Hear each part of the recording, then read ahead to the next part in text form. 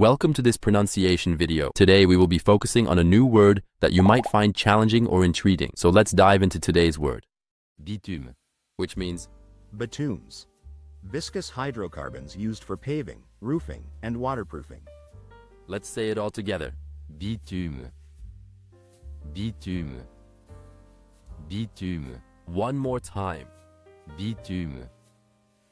Bitume. Bitume. Thank you for joining us on this adventure in pronunciation. Remember, language is a journey, not a destination. Keep exploring, experimenting, and expanding your linguistic horizons. We'll see you next time.